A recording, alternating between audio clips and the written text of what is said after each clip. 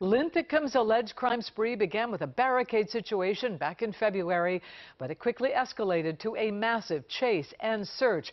And by the time it was all over, two officers were in the hospital with gunshot wounds. Dennis Valera was in the courtroom for Linthicum's hearing today. He explains the next steps now that a judge has denied bail. Linthicum has a couple court dates set. The big one, his trial, is scheduled for November 2nd. The judge denied his bail, saying he poses a flight and public safety risk. His attorney, meanwhile, argued that he needs mental health treatment ASAP. Despite David Linthicum's attorney saying he had a secured spot with an area mental health treatment program, that his basic human rights are being denied in custody, a Baltimore County Circuit Court judge still denied bail for the 24-year-old. Linthicum has been held without bail for months.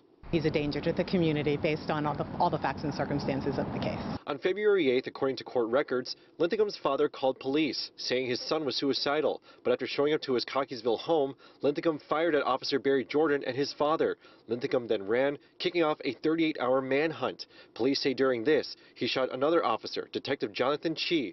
Chi was treated at shock trauma for more than a week. He is going to need uh, a significant amount of reconstruction. We are putting our plan together now. Uh, he'll be with us for a while. Linthicum was eventually found and arrested in Fallston, Harford County. He's now facing 27 counts after he was indicted last month.